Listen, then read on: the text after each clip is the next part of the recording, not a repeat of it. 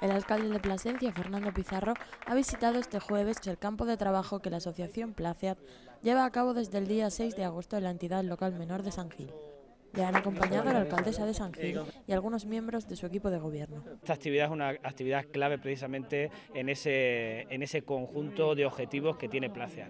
Por lo tanto, nosotros hoy venimos casi pues, a disfrutar de las actividades que realiza el conjunto de, las personas que están aquí, tanto los voluntarios como los monitores, como los propios usuarios de Placias, que forman parte siempre de manera constructiva, porque cada año tienen un objetivo. Este año es la recuperación de, de esta instalación, de esta infraestructura, pero que lo más importante, desde luego, es precisamente el, hacer visible esta, esta actividad, que de alguna manera los políticos es lo que podemos hacer con nuestra presencia hoy aquí y, por, y por supuesto aprender.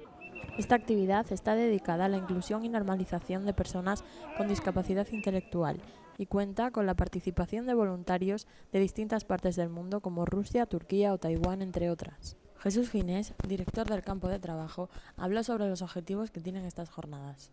Sí, por la mañana eh, se trabaja en lo que es el mantenimiento.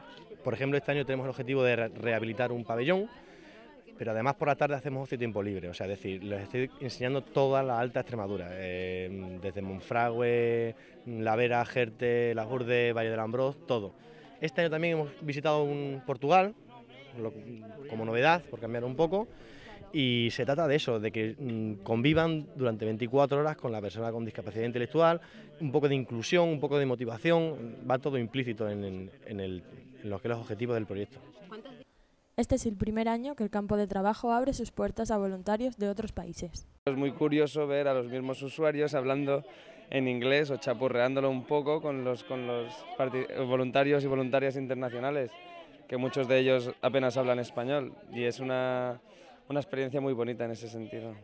Según la alcaldesa de San Gil, Ana González, esta localidad mantiene estrecha relación con las actividades que realiza Placia,